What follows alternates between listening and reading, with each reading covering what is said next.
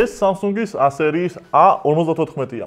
ვფიქრობ, რომ საკმაოდ პოპულარული სერიაა, ვინაიდან თავისი ოპტიმალური მონაცემებითა და შედარებით ხელმისაწვდომი ფასით გამოირჩევა. და საკმაოდ კარგი ალტერნატივაა მათთვის, ვინც Samsung-ის ფლაგმანურ S სერიას და დასაკეთ smartphones არ ეძებს. მაგალითისთვის რომ გითხრათ, რამოდენიმე წლის წინ A51 ბრენდის ბესტსელერიც კი გახდა.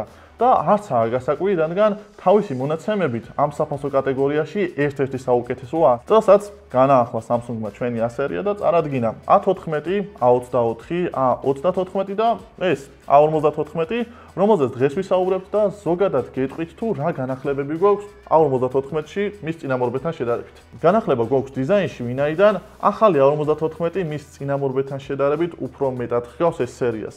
განსაკუთრებით კი კამერების ჭრილს, ვინაიდან კამერების ჭრილი ზუსტად იგივე აქვს, რაც S23-ს და ძალიან რთულია ამ ორი smartphone-ის გარჩევა. ძალიან მნიშვნელოვანი და კარგი განახლებაა ის, რომ ამ smartphone-ში მთლიანად შუშის корпуსი გვაქვს, როდესაც A53-ში ჰქონდა პლასმასის корпуსი. ერთადერთი პლასმასის რაც დაგვიტოვეთ A54-ში არის ჩარჩოები. გადმოვდივართ ეკრანზე და ხვდებით უფრო დიდ ჩარჩოებს ეკრანზე, რამაც დიდად არ მოუხდენია გავლენა ეკრანის ზომაზე. სხვა რა შეიძლება ვთქვათ, IP67 სტანდარტი იცავს smartphones, ასევე გვაქვს microSD ბარათის სლოტი, რისი მეშვეობითაც შიდა მეხსიერების გარდა შეგვიძლია 1 ტერაბაიტამდე. ვისაუბროთ ეკრანზე, რადგან ეკრანი ერთ-ერთი ყველაზე მნიშვნელოვანი დეტალია Samsung-ის smartphone-ებში. გვაქვს Super AMOLED ტიპის Full HD+ რეზოლუციის 120 Hz-იანი განახლების სიხშირის მქონე ეკრანი, რომლის ზომაც არის 6.4 ინჩი.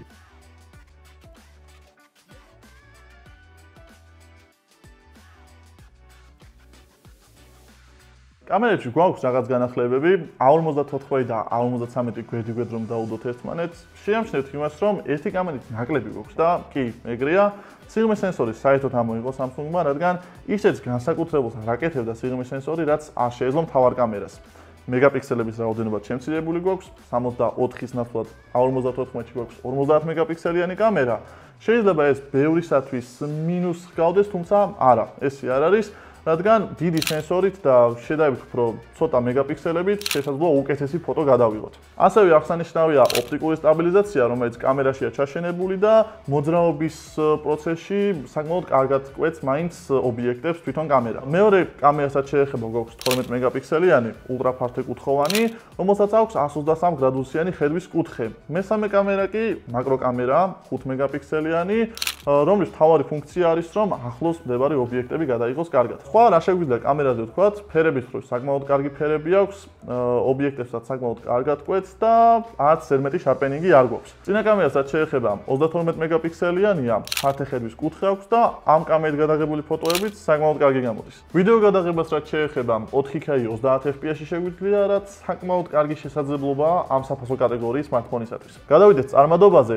smartphone-ი მუშაობს Exynos 1380-ის 5 ნანომეტრიან ჩიპსეტზე, რომელიც როგორც Samsung-მა გვითხრა 50 50%-ით არის გაზრდილი მისი სიჩქარე, ხოლო რაც შეეხება გრაფიკულ ადაპტერს 20%-ით A53-თან შედარებით. ეს განსაკუთრებით კარგად ჩდება თუნდაც smartphone-ზე ნავიგაციის დროს ან თამაშის დროს. კომპლექტაციებსაც შეეხება გვაქვს 128-იანი და 256 GB-იანი შიდა მეხსიერებით, არის Android 13, One UI 5 და 1 რომელიც როგორც Samsung-ის ეს სერია ამ შემთხვევაში 4 წლის განმავლობაში მიიღებს განახლებებს, რაც ძალიან კარგი დეტალია. ელემენტზე რო ვისაუბროთ, შეიძლება ბევრისათვის დაუჯერებელი იყოს, მაგრამ A54-ში ზუსტად იმავე ზომის ელემენტი გვაქვს, რაც გვაქვს S23 Ultra-ში.